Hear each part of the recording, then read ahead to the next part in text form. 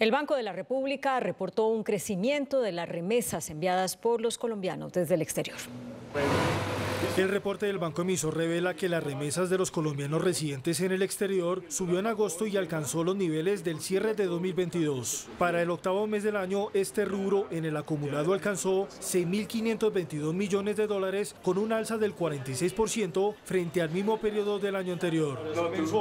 Solo en la variación mensual las remesas con 887 millones de dólares crecieron 15,3%. Van a cerrar un cierto bache que hoy tiene de alguna manera manera la inversión y que no se está cerrando por la inversión pública, pero por el lado del consumo nos puede ser favorable esto. Por este aspecto y sumado a la inversión extranjera directa, se espera que la tasa de cambio no tenga efectos alcistas significativos. Eso va a ayudar a que aumente la oferta de dólares y aumentando la oferta de dólares baja el precio del dólar. Para el cierre del año las remesas podrían superar los 10 mil millones de dólares.